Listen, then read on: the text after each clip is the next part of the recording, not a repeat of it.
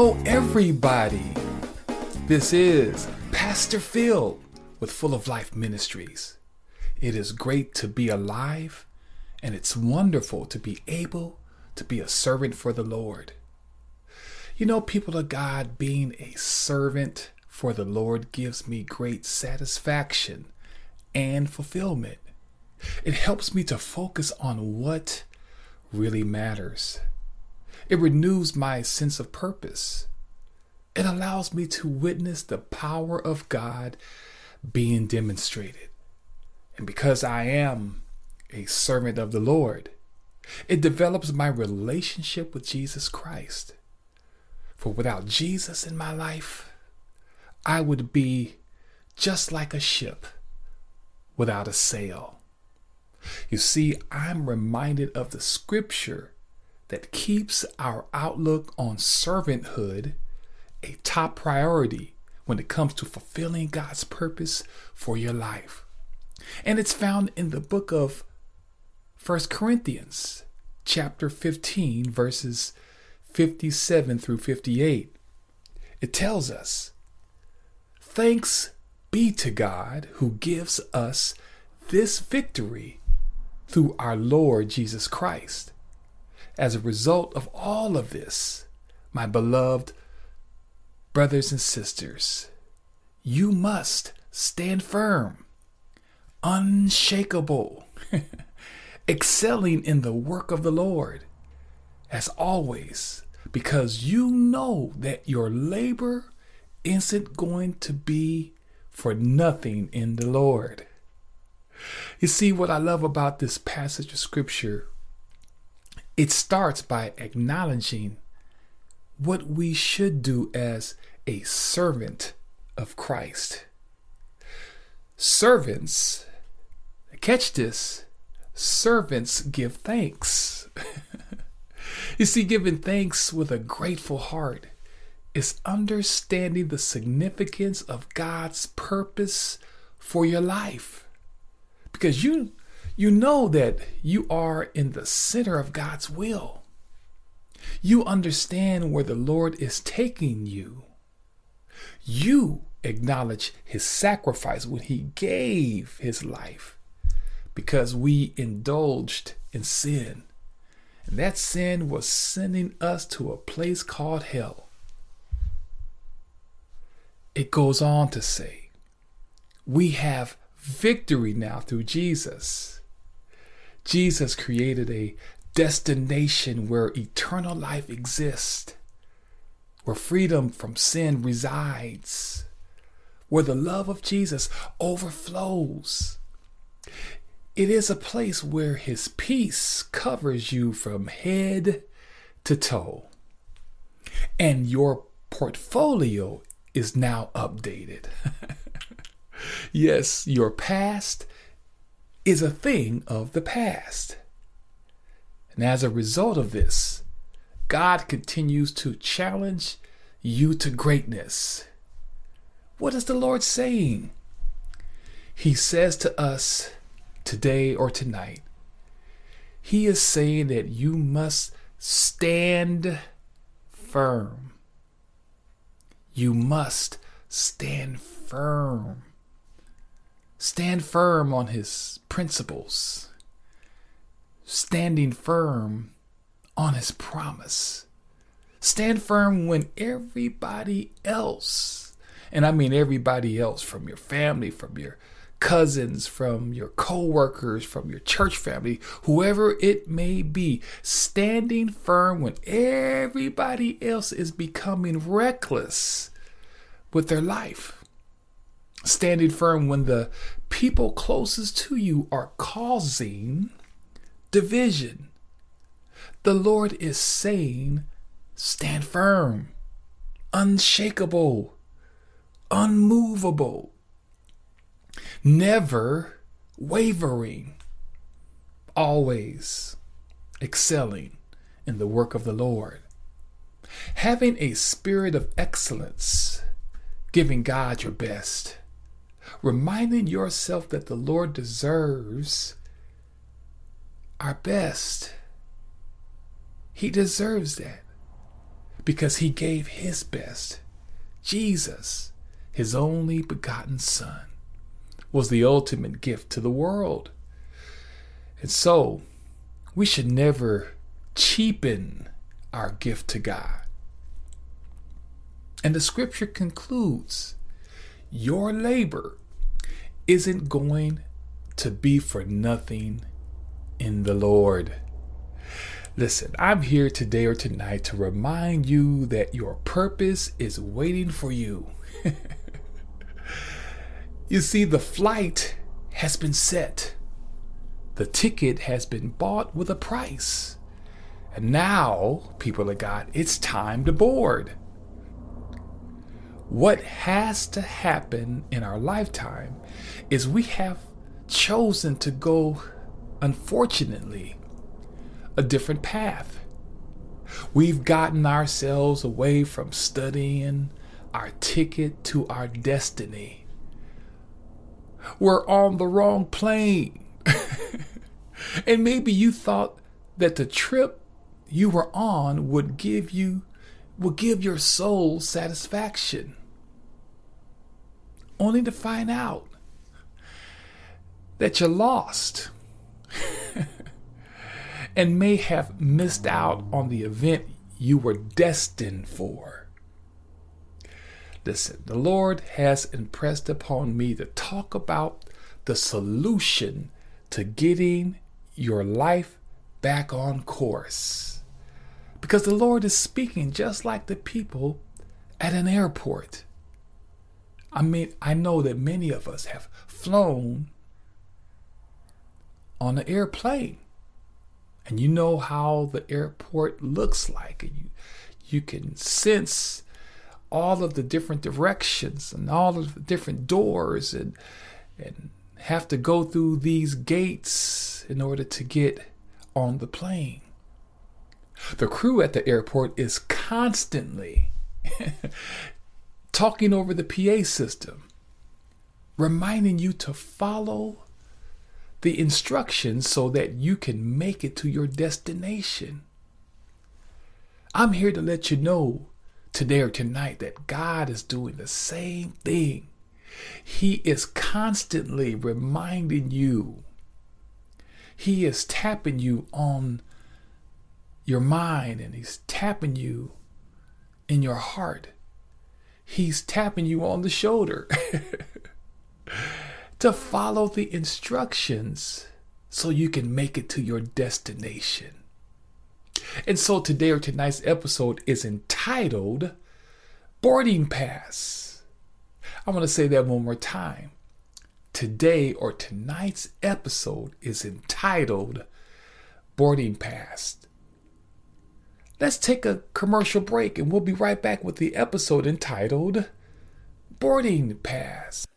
Hello, hello. My name is Christopher. I'm the editor of Full of Life Ministries San Diego podcast. And first of all, I would like to say thank you so much for listening. We really appreciate it. But I would also like to say that if you would like any prayer, any words of encouragement, or would just like to reach out in any way, you can email us at fulloflifesd at gmail.com. Also, we have a Twitter account. Our handle is at fulloflifesd. And feel free to reach out. We would love to hear from you. And lastly, I would like to say if you like what you're hearing and would like to donate, you can donate on any one of our pages. If you go to any of our pages, Spotify, Google, Spreaker, any of that, there should be a link that allows you to do so if that interests you.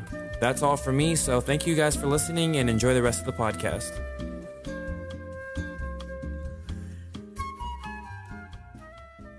All right, we are back. And so let's get into today or tonight's episode entitled Boarding Pass. You see, people of God, there are three critical factors in getting to your destination with the spiritual spiritual boarding pass. Yes, critical factors, essentials, non-negotiables when it comes to the boarding pass. Now listen, number 1,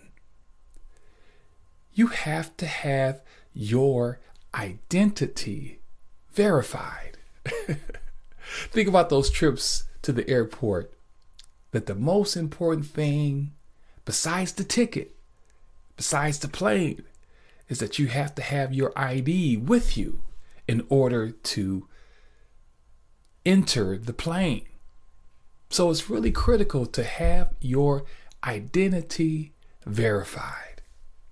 You see, people of God, many times, oftentimes, we try to change our identity because we don't like who we are. you compare yourself with others.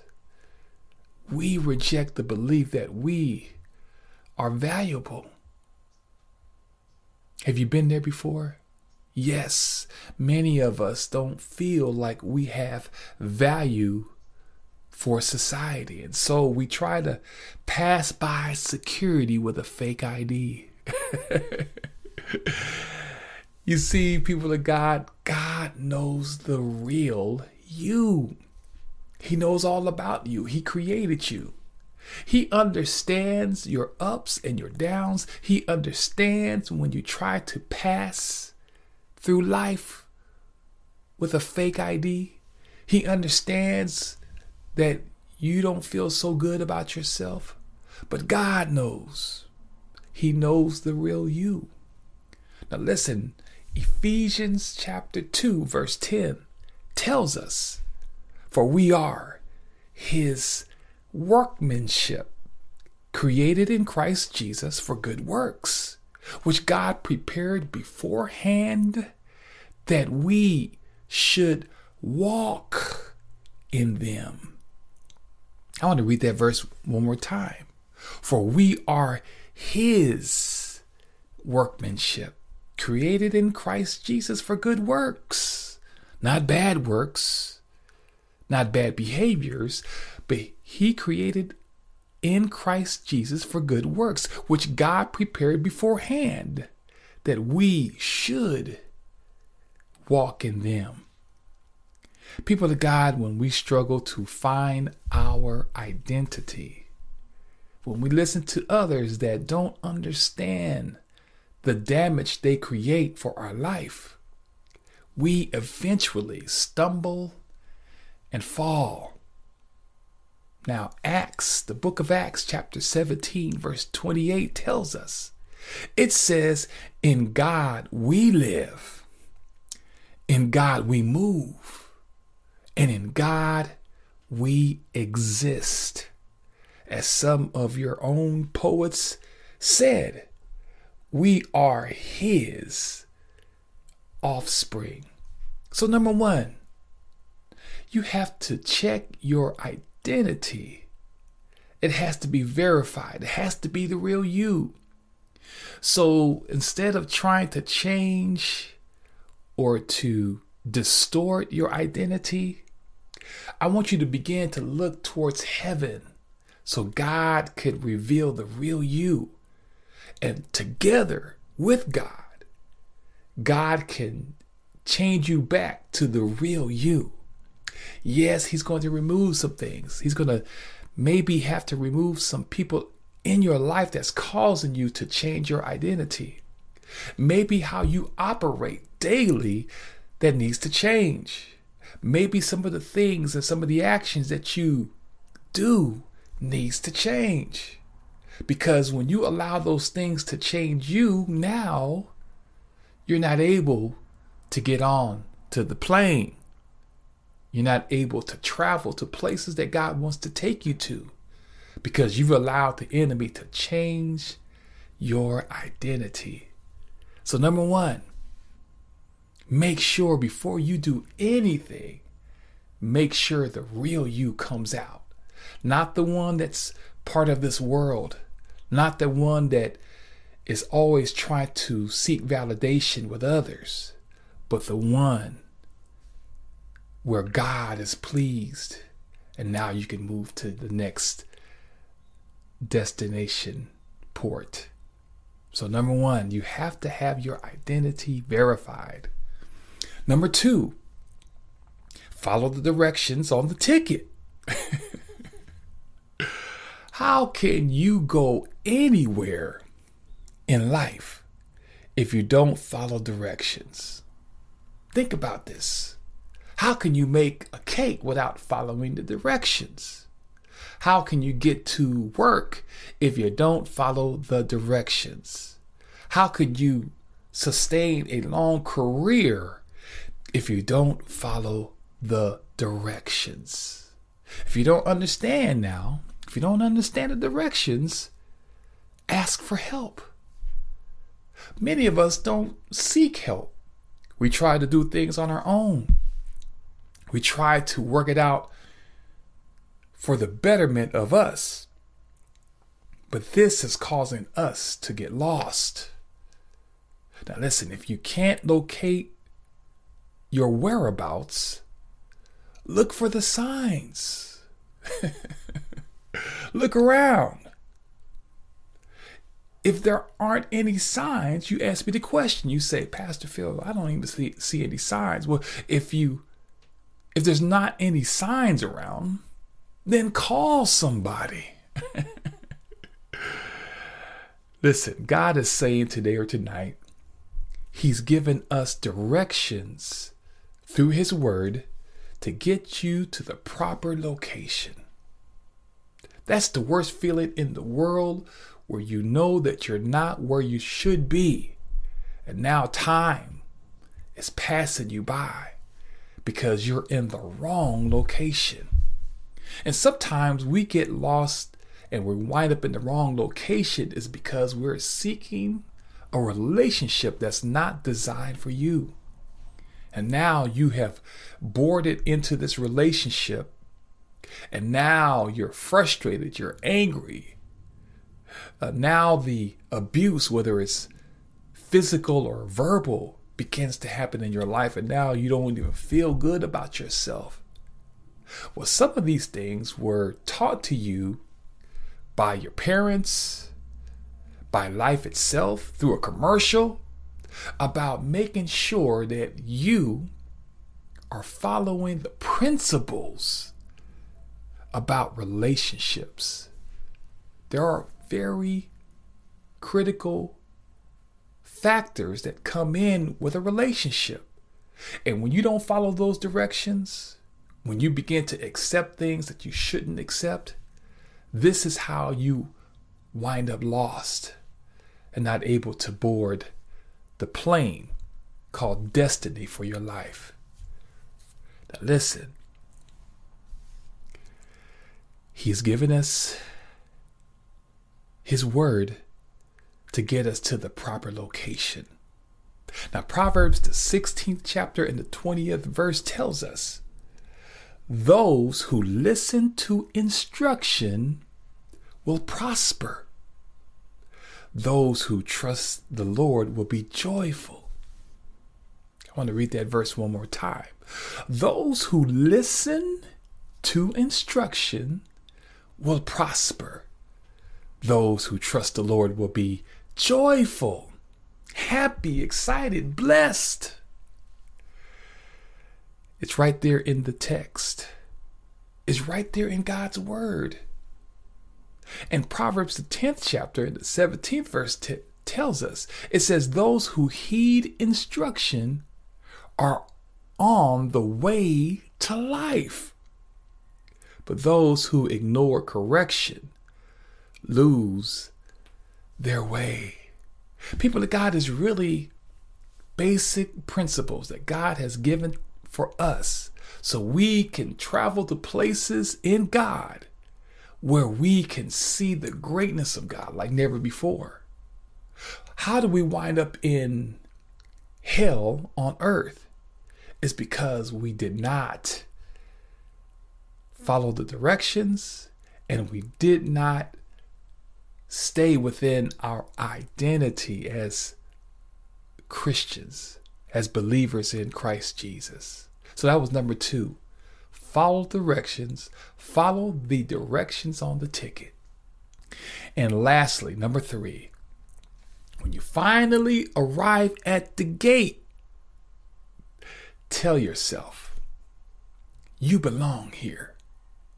This is a critical one because we don't feel like we belong, like we're not worthy to enter into a place in God where we can see His greatness, where we can experience hope, where we can walk by faith and not by sight. You have to tell yourself because the enemy will tell you a lie that does not line up with God's truth. So, through all of the struggles and the pains and the sufferings, and when you finally get to your destination, when you get to the gate, you got to tell yourself, I belong here. This is for somebody who listens to this podcast, Full of Life Ministries, weekly. You belong here, not in the world, because the, the world will eat you up and spit you out. You belong with Jesus. Because this journey that you're on is very difficult. Has a lot of uncertainty. You needed help along the way.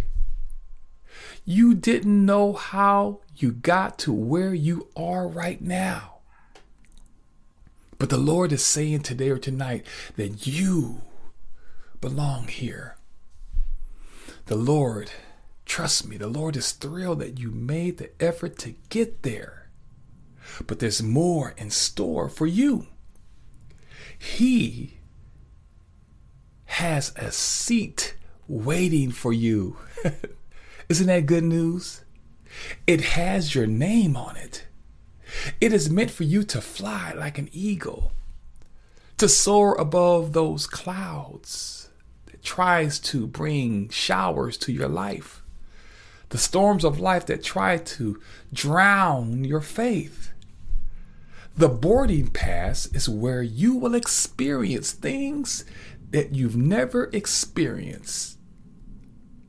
But the key is trust God on the path for success. Trust Him with your whole heart and lean not to your own understanding. And in all ways acknowledge Him, and He will give you. He will give you a clear path for success. Now, listen, Ephesians chapter 2, verse 13. It says, But now you belong to Christ Jesus. And at one time you were far away from God. Now you have been brought close to Him. Hallelujah. Christ did this for you when He gave His blood, when He sacrificed His life on the cross. He gave His life so you can soar, so you can fly like an eagle, so you can rise up above the clouds, the storms of life, against people's opinions of you, against the evil forces that tries to bring you down. God has done the work, and now it's up to us to get on the plane called destination. You got the boarding pass. He's given you the ticket. He's given you the directions.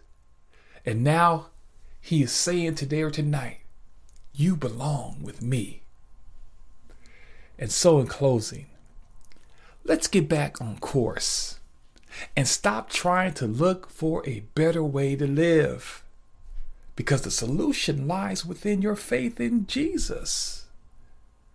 Because think about this if you place your faith in Christ, I promise you, you will discover great satisfaction and blessings for your life.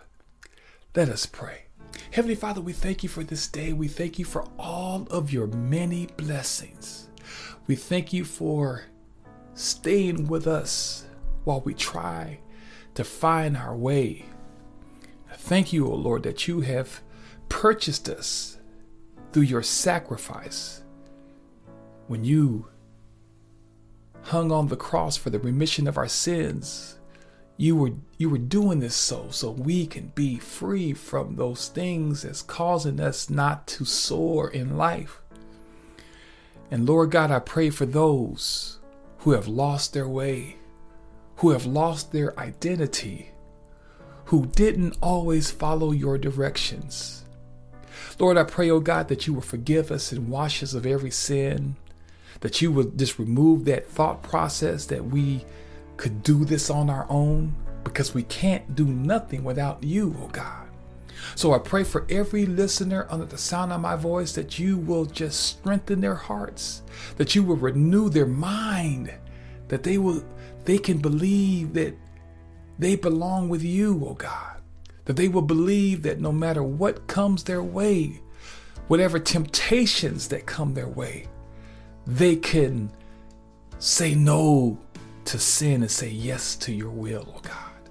I pray for every person with a heavy heart, those who are in a struggle right now because now they are at the wrong gate. They're lost and they don't know who to turn to. But Lord God, help them to call your name in the time of need. And as your scripture says, that you are a very present help in the time of trouble. So help us, oh God, to just get back on course, that we will seek you to just rest in you so we can become everything that you created us to be. We thank you in advance for what you're going to do in our lives, and we ask all these blessings. In Jesus' name we pray. Amen and amen. Well, that is it for today or tonight. The episode entitled Boarding Pass. This is Pastor Phil with Full of Life Ministries. I hope and pray that you re- that you really did enjoy this particular episode called Boarding Pass. And if it was a blessing to you, please continue to share these podcasts with your friends, your family, your coworkers, your church family, whoever it may be. Share these episodes because I believe it came straight from the throne of God to enable people to receive God's fullness. Listen, if there's anything we can do to help you along your Christian journey, don't hesitate to email us at fulloflifesd at gmail.com. You can find us on Twitter, Instagram. We love you with the love of Christ. People of God, pray for us as we pray for you. And let's continue to do this. In Jesus' name, God bless.